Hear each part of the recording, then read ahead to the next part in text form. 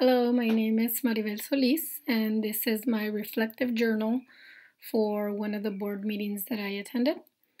I briefly attended a board meeting in which the climate was somewhat tense.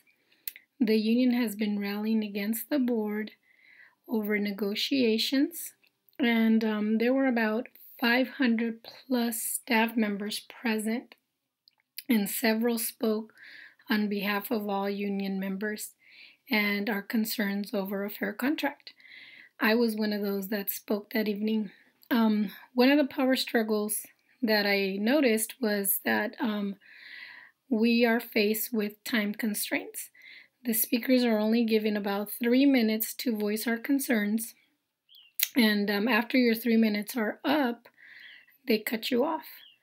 Uh, luckily, when I was speaking, I did go over my three minutes, but our superintendent allowed me to finish my speech, which I thought that was really nice.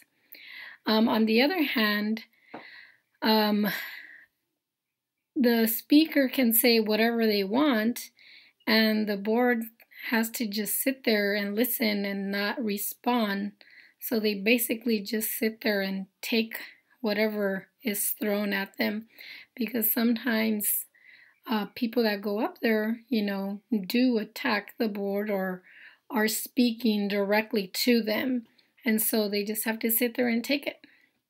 Um, some of the underlining beliefs are that the union feels that our rights are being violated, and the board believes that they are not. So, um, three major conclusions that happened are the union is rallying, the staff is protesting, and no negotiations are being agreed upon. So that is the struggle that we're facing now.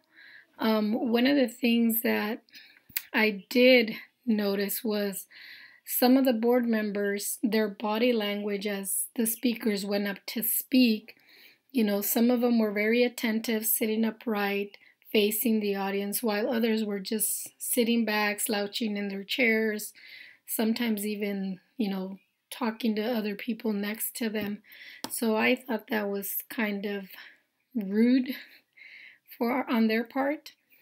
But um, I would like to be able to sit in a longer board meeting because, like I said, this was more of a union concern and so we were there to show our uh, sol- solidarity for our union.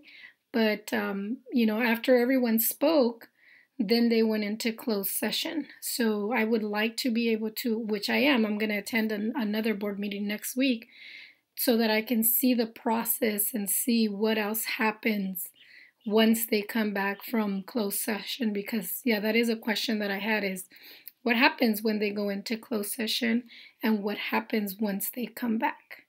So I'm excited um, to be able to see the process in full, and hopefully, I can maybe share that in the next reflective journal. Thank you.